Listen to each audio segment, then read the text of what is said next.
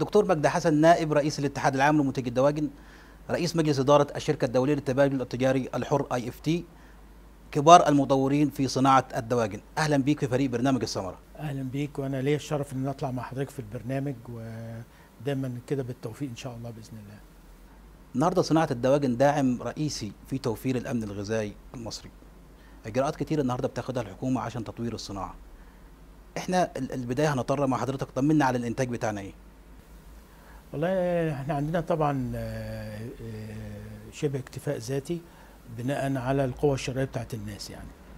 بس هي الفكرة النهاردة في أولا أخبار كويسة جدا بالنسبة للصناعة إحنا آه، متفائلين جدا بيها يعني. ففي توجيهات رئاسية نتيجة لقاء معالي وزير الزراعة مع سيادة رئيس الجمهورية وتم وزير الزراعة عرض عليه ثلاث مقترحات أساسية مقترحين أساسيين آه، نمرة واحد إنشاء اللجنة العليا وده مقترح كويس جدا. الحاجة التانية إنشاء مركز الأوبئة. الحاجة التالتة آه، اللي إحنا قرينا الخبر امبارح اللي هو البورصة السلعية. فالثلاث محاور الأساسية دي فعلا لو فعلت آه، هتبقى مبشر لصناعة الدواجن بصفة جامدة جدا يعني إن شاء الله. تمام. النهارده يا دكتور إحنا بنتكلم عن ارتفاع أسعار البيض والدواجن. نسمع من حضرتك بقى. هو الحقيقة بس هو أسعار البيض هي اللي رافعة إنما أسعار التسمين أعتقد ما فيش مبالغة أو يعني معقولة يعني بنفس المعدلات. تمام. هي هي القصة طبعا بيض المائدة إن طبعا نتيجة الكورونا السنة اللي فاتت والضعف السياحة فالمعروض كان أكتر من القوة الشرائية. فنتج عن كده إن الأسعار نزلت بشكل رهيب جدا وصلت ل 24 جنيه الطبق. فطبعا مع هذه الأسعار أقل من التكلفة فأدت إلى الناس تقلص حجم إنتاجها. والشيء طبيعي أما بيقلص حجم إنتاجك ال- المعروض بي- بيقل عن الطلب. فالقانون الطبيعي بتاع السوق إن الأسعار تزيد. تمام. إحنا كاتحاد النهارده هنعمل إيه بقى في آه، ارتفاع أسعار الدواجن أو البيض. والله إحنا بنحاول دلوقتي ننظم الأمور مع منتجي البيض بحيث آه، إن يرجع تاني للمعدلات آه، اللي قبل كده قبل الأزمة الأخيرة. في نفس الوقت دلوقتي إن إحنا بنحاول نشوف قروض تشغيل لأن في بعض الناس طبعا ما عندهاش المقدرة المالية إنها تشتغل بطاقة كاملة زي الأول يعني. ففي لقاءات مع ال- بنك التنمية والائتمان الزراعي بحيث إن هو آه، يدي آه، قروض تشغيل لل- للمربين. تمام. ده بالنسبة قروض تشغيل المربين ولا تحويل المزارع المغلقة من المفتوحه للمغلقة؟ هو الحقيقة الموضوع عبارة عن آه، جزئين. الجزء الأولاني اللي هو تحويل المفتوح إلى مغلق الجزء الثاني اللي هو التشغيل. إحنا كان تركيزنا النهارده مع البنك التنمية والائتمان الزراعي على التشغيل بالنسبة لمزارع البياض لأن طبعا في مشكلة حادة في إنتاج البيض. تمام. آه، نتيجة المشكلة الحادة كنا مركزين على آه، قروض التشغيل. القيادة السياسية النهارده يا دكتور مهتمة جدا بتطوير صناعة الدواجن وعملت لجنة. إحنا أخبارنا إيه؟ والله إحنا بنشكر معالي وزير الزراعة يعني الحقيقة آه، معالي الوزير ما بيتأخرش وبرضه سياده النائب آه، مصطفى الصياد. والدكتور طارق سليمان رئيس القطاع الحقيقة ال- بيقدموا كل دعم يعني. زي ما بقول لحضرتك اقتراح اللجنة العليا ده اولا هنقدر ننظم الصناعة. هي هي مشكلة صناعة الدواجن في مصر إن ملهاش نظام. آه، فبالتالي النهارده مفيش أي صناعة من غير نظام. فهدف اللجنة الأساسي هو تنظيم صناعة الدواجن. لأن النهارده برضو في عشوائية. يعني النهارده أنا ممكن أربي 2 مليون أم. طب أنا ربيت 2 مليون أم بناء على إيه بالك أنا هربي مثلا مليون فرخة تسمين بناء على إيه فلازم الأول إن إحنا بنحط الداتا. البيانات احتياجاتنا قد إيه إنتاجنا الحالي قد إيه ون... ونقارنه بال... بالإحتياجات ال... ال... ال- الفعلية ونشوف هل ممكن نزود أو إن إحنا نظبط الإنتاج بحيث ما يبقاش فيه آه، آه، معروض قليل أو معروض أكتر من الطلب وبالتالي الناس تخسر يعني. فهدف اللجنة الأساسي اللي هو التنظيم. كل دول العالم النهارده حتى أمريكا وكندا وأوروبا ما بتسيبش أي صناعة كده بدون تنظيم. فلا لازم يبقى في آه، نظام معين بحيث إن إحنا نضمن آه، المعادلة السحرية ما بين المنتج والمستهلك. لا عايزين المنتج المنتج يخسر ولا عايزين المستهلك يلاقي السلعه مبالغ في أسعارها فلازم التوازن ده. فالحقيقة التوجيهات السياسية زي ما بقول لحضرتك إنشاء اللجنة العليا اللي هي أساسا اختاروا اللجنة هي الثلاث اتنينات وتم تعديل اسمها تبقى لجنة تطوير آه، وتنمية صناعة الدواجن وهيضاف على عضويتها آه، مربي من الص- الصغار المربيين وواحد من كبار المربين والاتحاد آه، أرسل اسمين مهندس أحمد نبيل والأستاذ خالد حمزة آه، آه، كأعضاء. من ضمن برضو الأعضاء الجداد في أربعة مفروض متخصصين أساس صف جامعة آه، تربية دواجن اقتصاد دواجن تغذية وأمراض. فالقرار رئيس الوزراء معالي دولة رئيس الوزراء إن وزير ال- معالي وزير التعليم العالي هو اللي يبتدي يرشح أربعة. فالاتحاد بعت الترشيح بتاعه الاثنين أعتقد وزير معالي وزير التعليم العالي بعت ال- الأربعة وفي انتظار ال- أول اجتماع. تزامنا مع اللجنة العليا هيبقى آه، مركز الأوبئة. الحقيقة ده سبق يعني برضو يحسب لوزارة الزراعة إنها خدت قرار آه، بإنشاء مركز أوبئة. ده ما حصلش قبل كده خالص.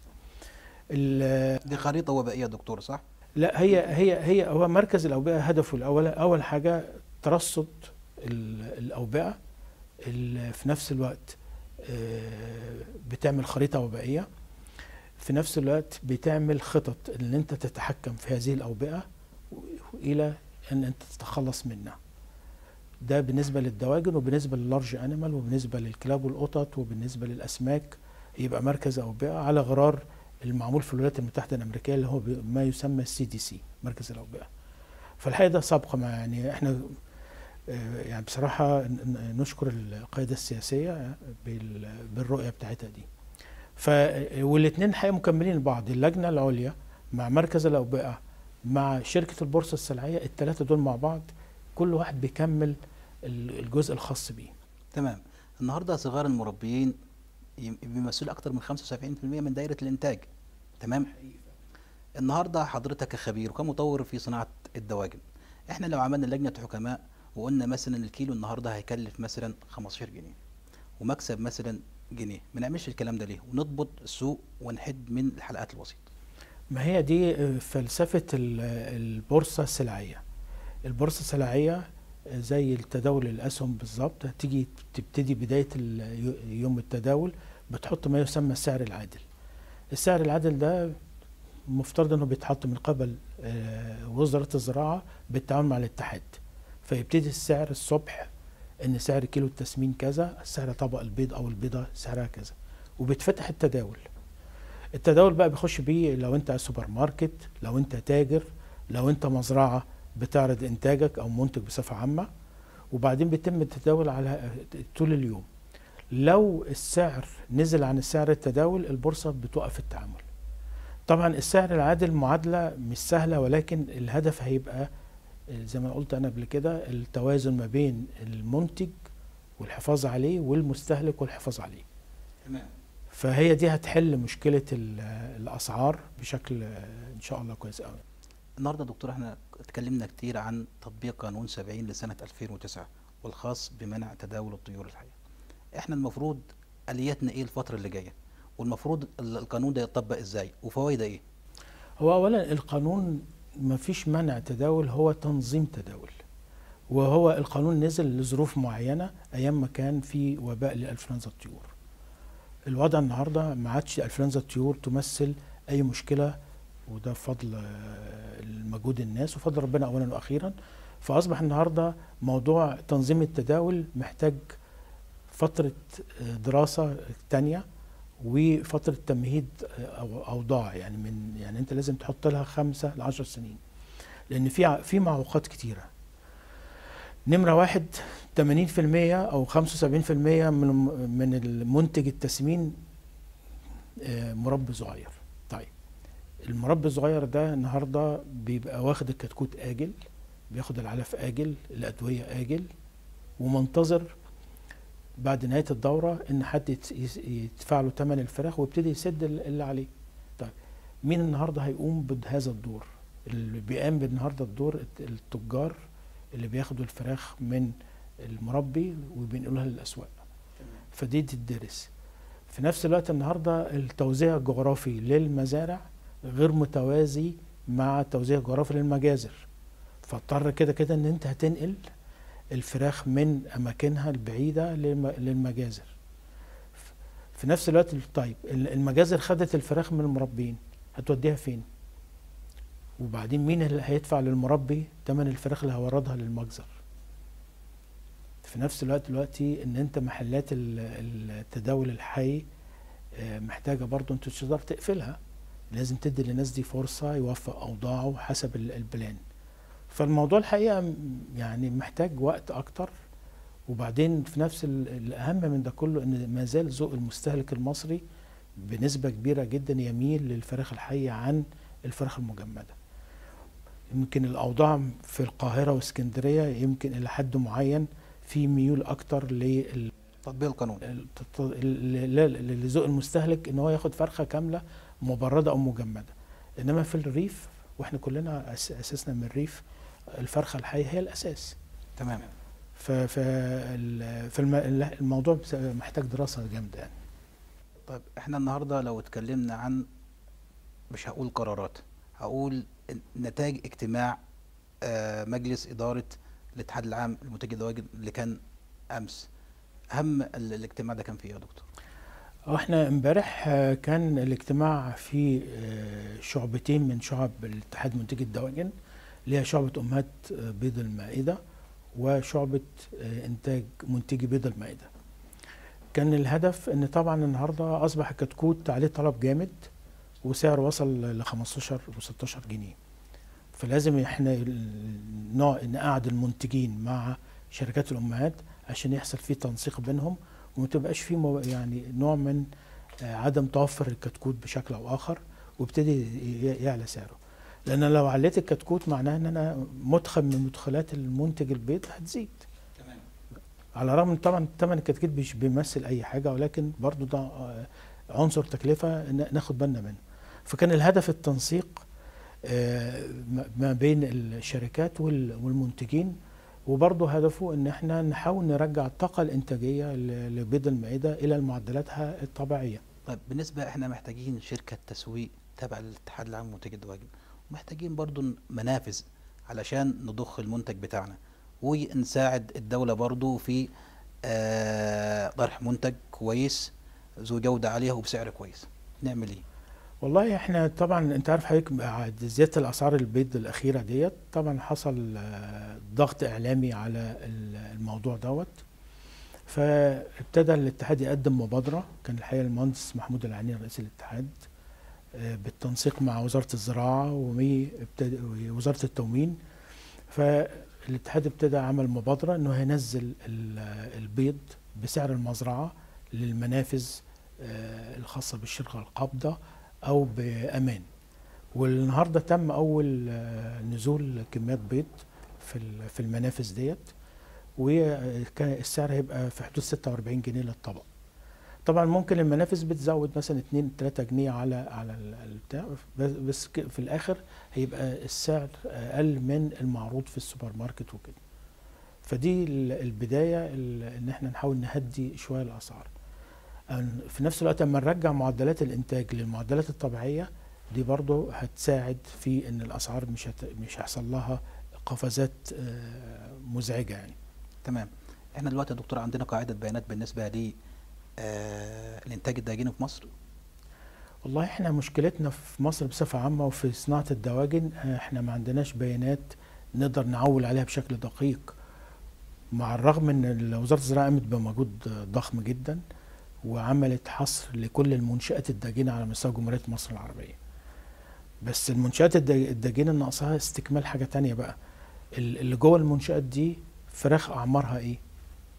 بحيث إن أنا أقدر مثلا على مدار ال 365 يوم أقول والله إن النهاردة هيطلع فراخ كذا عدد كذا الأسبوع الجاي كذا وهكذا. فدي اللي, ناقصة. ودي دور اللجنة العليا لأن النهارده أنا النهارده مصدر الكتاكيت سبع شركات جدود. فنبتدي النهارده شبع شركات الجدود دي تدينا معلومات كل يوم هو باع أمهات لمين وفين.